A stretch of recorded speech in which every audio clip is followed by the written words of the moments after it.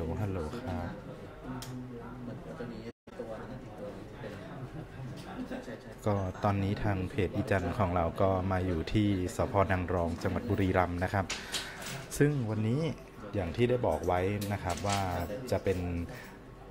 การฟังผลนะครับของการตรวจลายนิ้วมือบนลอตเตอรี่นะครับ โดยที่วันนี้มีทางฝั่งคุณวิทยาแล้วก็ทางของพันศักดิ์นะครับ มาร่วมกันฟังทางผู้กำกับการสพนางรองนะครับ มาแถลงผลชี้แจง ซึ่งตอนนี้ก็มีการพูดคุยกันก่อน ซึ่งเมื่อสักครู่ที่ผ่านมาทางคุณวิทยาก็ได้เดินทางเข้ามาก่อนนะครับ แล้วก็ตามมาด้วยคุณพันศักดิ์เนาะซึ่งก็ยังลุ้นกันอยู่ตั้งแต่เช้า ซึ่งหมายแรกก็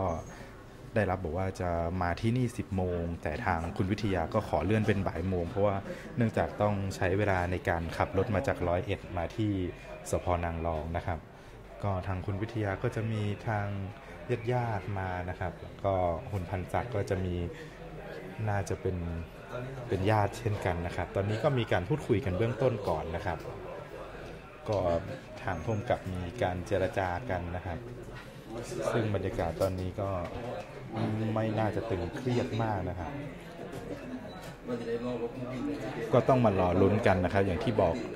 ยืดเยื้อมาเกือบ3 เดือนแล้วนะครับ โอเค เดี๋ยวเราลองมาย้อนดูกันนะครับว่าเรื่องที่เกิดขึ้นนี้เกิดขึ้นตั้งแต่เมื่อไหร่นะครับ หลายๆ คนอาจจะงงเพราะตอนนี้มี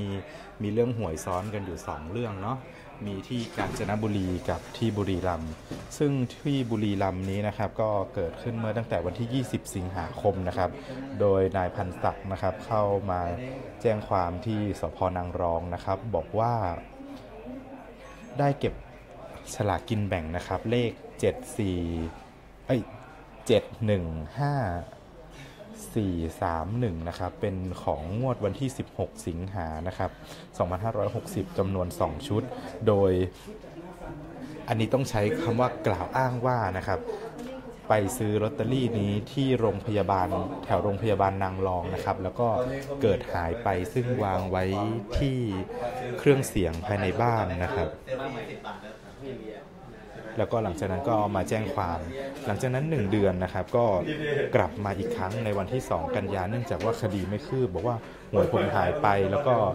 มีการตรวจสอบนะครับว่าชุดดังกล่าวที่นายพันศักดิ์ได้เข้าไปแจ้งความไว้ มีการไปขึ้นเงินโดยคุณวิทยานะครับ คุณวิทยาก็เลยมาปรากฏตัวเพื่อที่จะแสดงยืนยันในความบริสุทธิ์ของตนเองนะครับ ว่าตนเองนั้น ได้ซื้อจริงแล้วก็ถูกจริง ๆ ซึ่งขึ้นเงินไปแล้วนะครับ แต่ว่าของคุณวิทยาเนี่ยจะมีอยู่เขาเรียกว่า 3 ชุดเนาะรวมมูลค่าคือ 18 ล้าน แต่ที่คุณพันศักดิ์แจ้งไว้ก็คือ 2 ชุดมูลค่า 12 ล้านนะครับ ซึ่งวันนี้ทางตำรวจสพนางรองก็ได้นำฉลากก็เรียกว่าต้องนำไปทั้ง 3 ชุดเลยนะครับ เพื่อที่จะไปตรวจสอบลายนิ้วมือแล้วก็ มีการตรวจสอบ DNA นะครับ ซึ่งตอนนี้ผลคร่าวๆนะครับที่ทางผู้กำกับได้แย้มมานะครับ บอกว่าไม่พบ DNA นะครับลูกเพจต้องฟังดีๆนะ ไม่พบ DNA คือ DNA ไม่ไม่มีบนฉลากกินแบ่งรัฐบาล งวดวันที่ 16 นะครับ ที่ไปขึ้นรางวัลทั้งหมด 18 ล้านนะครับ แต่ แต่พบลายนิ้วมือนะครับ อันนี้ต้องขออุบไว้ก่อน แต่บางคนก็อาจจะรู้แล้ว บางสื่อก็อาจจะนำเสนอไปแล้ว แต่ว่าเดี๋ยวเรารอมาฟังจากปากของผู้กำกับเองนะครับ ว่าลายนิ้วมือที่พบนั้นเป็นของใครนะครับตอนนี้ก็มีบรรยากาศหน้าห้องผู้กำกับก็มีทางสื่อหลาย ๆ สื่อนักข่าวหลาย ๆ คนนะครับ ก็มาเฝ้ารอ ซึ่งทุกคนก็อยากรู้นะครับว่าหวย หรือว่าลอตเตอรี่ชุดนี้จะเป็นของใครนะครับ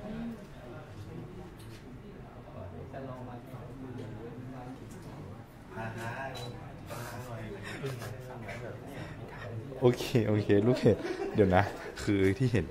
มีให้น้ำกินกับไม่มีให้น้ำกิน เพราะว่าทางคุณวิทยาวิทยาเดินทางมาได้ก่อนหน้าของคุณพันศักดิ์ก็สักระยะหนึ่งเนาะ ก็เลยมีการจัดเตรียมน้ำมา แล้วระหว่างที่พูดคุยกันอยู่ คุณพันศักดิ์ก็เดินขึ้นมาพอดี ก็เลยไม่ยังไม่ได้เสิร์ฟน้ำนะครับ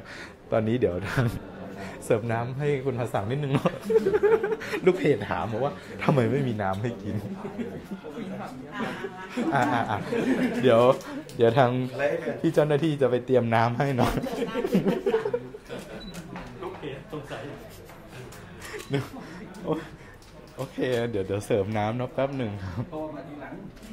เรื่องที่เอาน้ำพกไปแจกดีกว่า จะได้โฆษณาออกจริงจังจะได้โฆษณาฟรีเออโอเค เดี๋ยวน่าจะคุยกันสักพักหนึ่งอะเนาะแล้วก็จะมีการออกมาแถลงข่าวอย่างจริงจังนะว่าพบลายนิ้วมือใคร อันนี้ต้องอุบไว้ก่อน หลาย ๆ คนรู้แล้วอย่าเพิ่งบอกนะ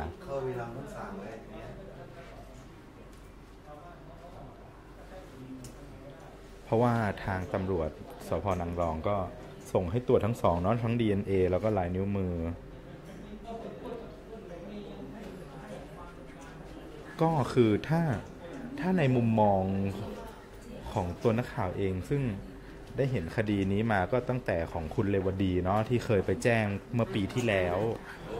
อ๋อ มีน้ำมาเสิร์ฟแล้วครับเสิร์ฟแล้วครับเอามาดูเอาใจคุณอีกจังนะคะโอเคครับ โอเคนะครับ ลูกเพจตอนนี้มาเสิร์ฟน้ำแล้วเนาะโอ้มาข้างล่าง โอเค เดี๋ยวมาต่อกัน ซึ่งเรื่องหวยอลเวงนี่มันก็ของคุณพันศักดิ์นี่ไม่ใช่เป็นเคสแรกเนาะมีเคสแรกก่อนหน้านี้ก็คือของคุณเรวดี